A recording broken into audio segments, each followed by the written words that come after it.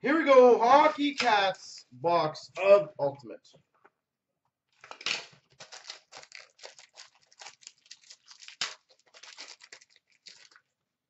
We've got a Jordan Kyrou. Ultimate introductions. This guy's following us tonight.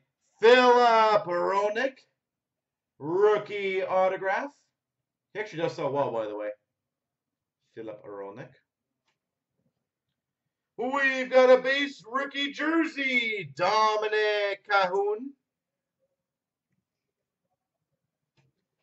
And we've got an access jersey, Mikko Rantanen.